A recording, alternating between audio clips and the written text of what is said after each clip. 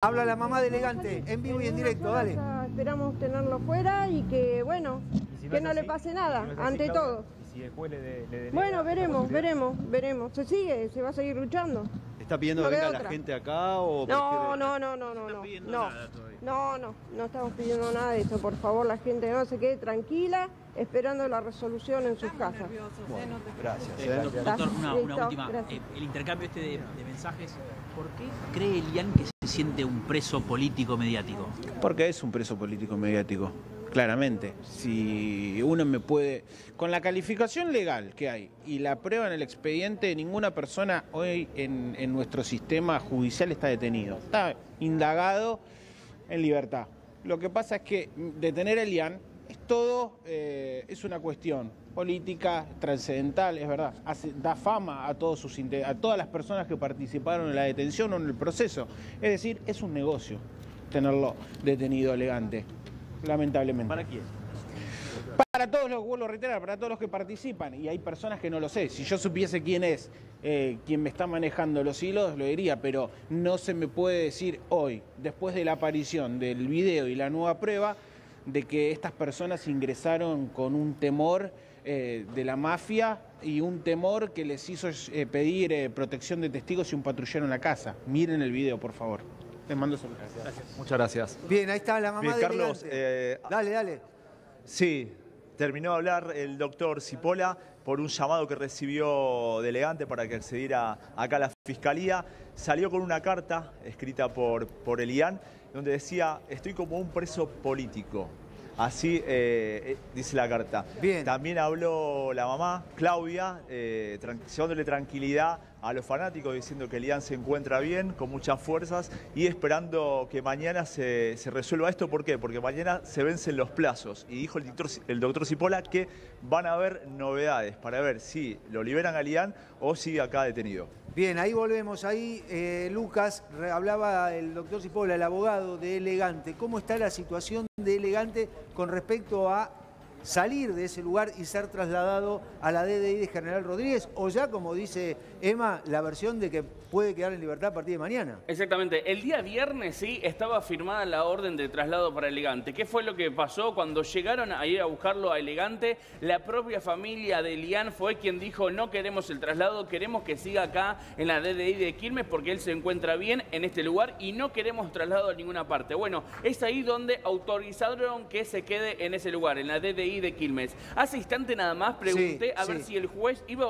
ordenar la libertad en el día de hoy, lo que nos indica a nosotros que hoy Elegante va a continuar detenido, ¿sí? Hoy no se le va a dar la libertad a, a Eliam. Bien, Denis, ¿qué puede pasar legalmente con Elegante? Más allá que mañana sea liberado o no sea liberado. ¿Cómo sigue esta causa que tiene Elegante como protagonista? Privación ilegítima de la libertad, amenazas coactivas, amenazas. La pena es muy alta, hasta 15 años, y lo cierto es que todavía el juez tiene que resolver qué va a hacer con Elegante. Puede ser que Sí. lo deje en libertad y que continúe el proceso penal o que entienda que por las nuevas pruebas en realidad no tuvo nada que ver o baje la privación ilegítima de la libertad y deje otras cuestiones como amenazas y entonces la pena baje. Pero es cierto que todavía tenemos mucho por delante. Bien, Miguel habla de ser un preso político. ¿Por qué Elegante cree que es un preso político? ¿A qué se refiere cuando dice soy un preso político? Usa el imaginario que hay sobre qué le ocurre a los que son presos políticos, que en general se plantea este concepto cuando hay alguien que por alguna motivación vinculada con alguna actividad política o alguien vinculado a la política, lo meten Sí. preso sin pruebas y puede estar demasiado tiempo preso, incluso forzando todo el proceso. En el caso que tenemos de Elegante, eh, este concepto a él le va a servir mucho a partir de ahora, sobre todo después de la aparición del video. Sí. Porque el abogado denunciante lo que planteaba es que era totalmente claro que bajo amenazas, mostrando una pistola, lo obligó a Torres, al denunciante, que ingrese en el vehículo. En las últimas imágenes que se mostraron el fin de semana, no parece que fue directamente amenazado. Es una imagen que pone en duda el relato oficial. A partir de ahí hay que ver qué decide la justicia. Bien, en vivo y en directo en el lugar. Allí está Emanuel. Emma, todo tuyo. Dale, vamos.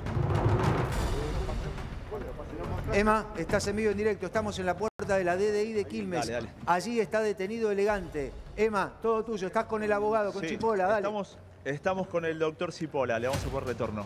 Bien. A ver. Bien, estamos ahí en la puerta de la DDI. Vamos. Gracias, doctor, por atendernos. Buenas tardes, ¿cómo le va? Gracias por atendernos. No, por Estamos favor, ahí en la tardes. puerta de la DDI de Quilmes. Le acaba de dar una carta elegante. ¿A qué se refiere, doctor, esa carta? Cuando yo le pregunté cómo se siente, me dice, como un preso político, como un preso político mediático. Me dijo, ¿se la podemos mostrar a los medios? Inclusive la firmó y todo. Sí. Justo estaba mirando Crónica cuando estábamos hablando. Justo nos Así que estaba lo mirando. estar viendo ahora en vivo. Bien, nos está viendo elegante ahora. ¿sí? Esa, esa, esa es la carta que le dio elegante. ¿Por qué se refiere elegante al- por ser un preso político? ¿A qué se refiere con preso político, doctor? Porque esto se originó con un puntero político y por Elian a no, a no prestarse a participar en actos públicos o en apoyo a políticos. Y por eso él Y dice hay ser un otros preso político. que todavía yo no los voy a, por ahora yo no los voy a decir, Sí. eh, pero más adelante, si en el caso que continúe esta injusticia, voy a dar un par de detalles también de, de otros políticos que querían la cabeza de Elian. Pero ¿por, por qué se- problemas personales. ¿por qué dice que querían la cabeza de elegante? Porque es grave lo- la denuncia que está Esto- haciendo. Se van a enterar más adelante. Por Pero ¿a qué- ahora es algo que me lo, me lo dijo Elian y no me autorizó a decirlo todavía. O sea, él sabe o tiene datos de que alguien pidió su cabeza. El tema que se refiere, ¿a qué se refiere a pidió su cabeza? Cuando piden su cabeza es o detenido o, o censurado o cancelado. Hay un montón de, de situaciones, ¿no es cierto? No, no, no, eso no significa la muerte de él. Pero hay un político muy importante que no, no le cae en agrado a Elian y me explicó los motivos y eran entendibles. Bien, Miguel. Eh, Cipolla, él cree que esos motivos eh, tienen que ver con no haber participado, no haber ayudado a algunos pedidos que, que le hacía Torres. el- Eso- el eso es con-. Eso y, montos de dineros también, pero en el caso de Torres tampoco es el gran político, estamos hablando que es un puntero barrial. No, que se debería analizar un poquitito más qué es que hace con las donaciones o con lo que le da al municipio, más que nada para que no se vaya el erario público a, a manos que, que son selectivas, es decir, que reparten únicamente a personas que por, por interés o que les Ahora- sirva la causa. Ahora, doctor, ¿cómo está elegante en este momento? Él dice, está mirando crónica. ¿Qué diría ahora elegante a las personas que lo están viendo?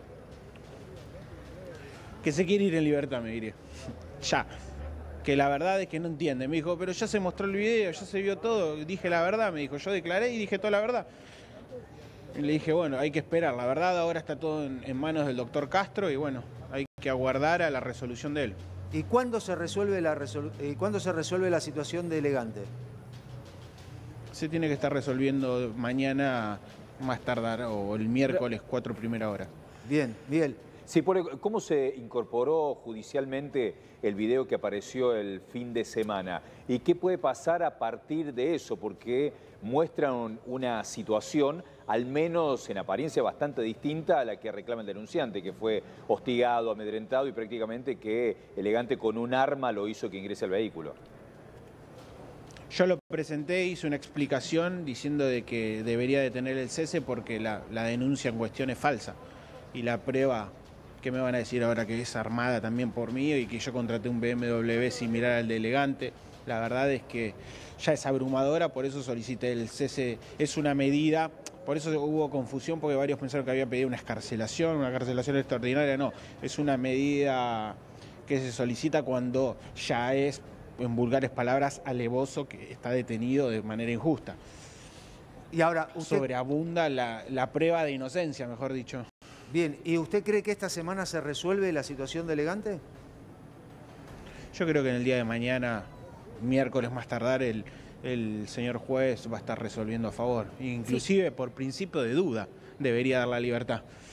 Cipolla, en el caso de que no se dé la libertad, que entiendo que también se refiere a peso político, porque cualquier otra persona sin riesgo de fuga ni entorpecimiento de la causa, que igual eh, podría salir en libertad, eh, Elegante no está saliendo en libertad, incluso habiendo declarado, o sea, presentando pruebas de que él no estuvo en ese momento o que las amenazas de las denuncias son falsas, ¿presentaría un habeas corpus en caso de que no le, le den la libertad? No, voy a presentar una batería de escritos que entre eso va a estar una escarcelación extraordinaria, escarcelación común con cambio de calificación legal y el arresto domiciliario. Todas las medidas en conjunto. Ahora, doctor, Y usted- después vamos a presentar una denuncia contra la Fiscalía. Bien, ahora doctor, ¿usted cree efectivamente que Elegante es un preso político? Usted como abogado, más allá de la situación de él, como abogado, ¿cree que es Sí. un preso político? Yo lo creo. Lo creo, lo sostengo ante cualquier persona. Si no, es inentendible cómo está detenido. ¿Y por qué Con cree? la prueba que hay, ¿no es cierto? Sí, sí, Ahora, sí. Sigal, usted dice la, la- la prueba, ¿no? Del video que se vieron en los últimos días. Pero No, no, pero no solo eso, ¿eh? No, no solo Sí, sí, eso. pero ¿sabe que el doctor Sigal dijo que lo iba a juntar ese video también en la causa, lo iba a presentar? Porque dice que para él es prueba de lo que su cliente eh, estaba diciendo que era verdad, de que lo amenazaron de dentro bueno. del vehículo y que subió. ¿Qué cree con esto? Cualquiera que vio el video y ve la prueba, claramente, entonces porque no hay una, no hay nada en el expediente si, tiene que presentar el video que yo utilizo como defensa. Pero llama la ver, atención. eh, esto para que queden, esto para que queden claro, la fiscalía Sí. pide la detención con miles de videos. ¿Alguien vio algún video? El único video que se vio es a Elian eh, demostrando lo- los extremos invocados por esta defensa. Es decir, que nunca obligó nada, que no había un arma de fuego, que las personas no estaban asustadas. Después no hay ningún otro video. Es decir, está preso porque una persona y su familia dice eh, que él eh, los secuestró, por así decirlo. Bien, pero hay tres testigos, tengo entendido, corríjame doctor si no es así, hay tres testigos que hablan 100, de, un, no. de- de un arma. Hay tres testigos que hablan de No, un arma. tenemos personal. Ellos dijeron no, porque el los policías declararon, los policías declararon que inclusive estando ponerle privado de su libertad, frena en un patrullero y se pone a hablar con el policía. Y estas personas no le manifiestan absolutamente nada al policía. Los policías declaran eso, también mienten los policías.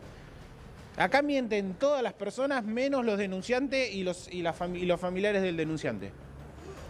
O sea, ¿usted cree que está todo esto está armado sí. para meter preso a Elegante? Claramente, claramente. ¿Qué, qué familiares? Eran cinco familiares, ¿no es cierto? Ninguno llamó al 911 cuando esta persona se subió al auto. Si estaba secuestrado, privado de su libertad, todos temían porque apareciera muerto en un campo. ¿Por qué no llamaron al 911? ¿Alguien me puede explicar eso? Porque no me van a decir que no confían en la justicia, porque lo primero que, que hicieron fue hacer la denuncia penal. Miguel, Eh, si por entonces, ¿cuál es el argumento para eh, defender esta situación? Que bajo amenaza lo metieron al vehículo y los familiares no hicieron una denuncia al 911, no reclamaron a nadie. Porque, En- porque es falso, por eso, por eso apareció un video que ahora demuestra lo que yo estoy diciendo. Si alguien me puede explicar a mí, con lógica, ¿no es cierto? El video y el no llamado el 911, si alguien me dice, no, no, pará, yo te voy a dar una explicación por qué con ese video y, eh, y aún con el video y no llamando el 911 pudo haber una privación ilegítima de la libertad o un temor en las personas, y bueno, la verdad es que estaría para hacer una película en Hollywood porque yo no le encuentro explicación y mirá que soy abogado penalista que nosotros buscamos explicación a lo inexplicable. ahora, él está detenido, Elegante está detenido. Lo vio hace un ratito nada más. ¿Puede mostrar la carta que él le dio a usted para mostrarnos a nosotros? Sí. ¿Lo puede mostrar?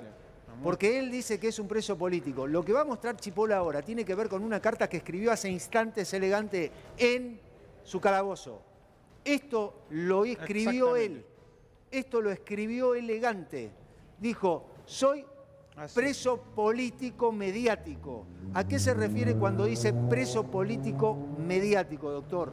Esa es la carta que escribió él, puño y letra de elegante. Porque él no se considera no se considera un político, sino un personaje famoso, por eso puso lo de mediático. Bien, ¿cuándo, cuándo lo vuelve, ¿cuándo vuelve a ver usted a Elegante? Espero que en libertad el día de mañana. Lo tengo Ah. que dejar que voy a entrar a hablar con los familiares. Bien, Pero bien. yo creo que si sale todo bien, mañana tendría que estar en libertad Sí, si realmente sí. existe la justicia. Bien, bien, doctor, gracias por atendernos, gracias por estar gracias. ahí. Esa es la carta que escribió. Elian manda saludo a Crónica. a Bien, Crónica. gracias a Elian, un abrazo. Y además, no, y además, doctor, eh, ¿él tiene la posibilidad de hablar por teléfono ahí? ¿Él tiene en algún momento una posibilidad de hablar no. por teléfono? No, no tiene, pero me dijo cuando quiera la libertad va a dar una entrevista en Crónica.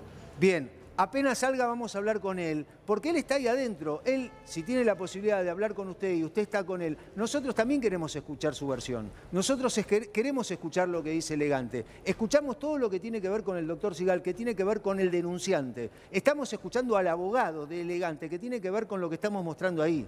Se considera un preso político mediático, ¿sí? Y además vamos a hablar con Elegante en algún momento para que él dé su versión. Doc, gracias por atendernos. Eh, estamos ahí. Emanuel, estás en vivo y en directo. Dice ahí el doctor Chipola, el abogado de Elegante, que hay muchas personas que están ahí en la puerta. Emma, dale, estás ahí, vamos.